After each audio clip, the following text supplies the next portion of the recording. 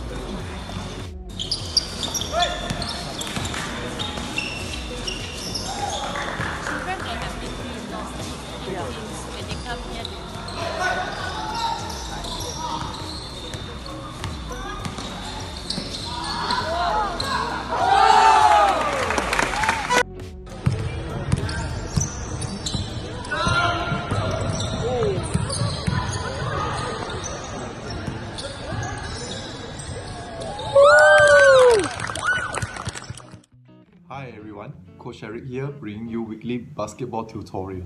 Before we get started, I would like to emphasize a couple of essential points to take away from this session.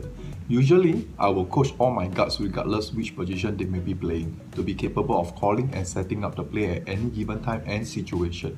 My post player, the power forward and center position, having the ability to switch at any time of the play. This will greatly widen the team's overall versatility, performance, confidence, and will definitely take the load and stress off any single player that the team have to rely on. It also prep the team adequately in times of foul trouble, injury, substitution, timeout rotation, and to develop the player understanding of the set play that's been taught. Alright, let's get right to it. V-I-S-T-A-S, VISTA. So what does VISTA stand for? The V stand for vision. You want your teammate to always be on the lookout, scanning the court, reading the opponent's defense, and to make quick entry passes to any open teammate whenever the opportunity arises. I stand for initiative. Taking initiative in basketball is extremely important. You will appreciate teammate who will take the lead, call the play, and set the tempo as the game progresses on. Communicate loudly, clearly, and early at all times. Then we have S, spacing. We have a good 14 by 15 meter of space to attack. The last thing you want to do is to cram out at the corner and limit yourself to a small amount of space to run your offensive play. Spreading out evenly during an offensive play makes the defender work harder to help or recover on their defensive end. T is for timing. Timing, timing, timing. I cannot stress enough on the timing. The cut, pass, screen, roll, slip, pop, dribble, drive, shots are all about timing. One split second in the basketball game could mean a huge difference in whether that particular play goes through.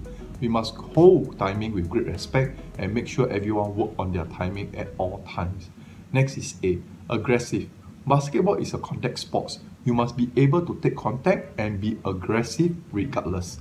Learn the trick of utilizing appropriate body movement and legal footwork to increase your chances of attacking the basket. And lastly, S.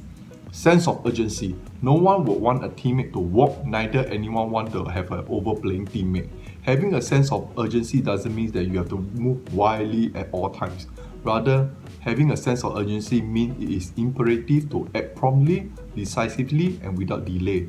For example, running forward for a fast break or sprinting back to get into a defensive position whenever the situation calls for. I hope this offer you an overview on the basic principle for the offensive set play you are about to learn. Next up, I'll be sharing with you a video clip on how to run the play effectively. Let's go.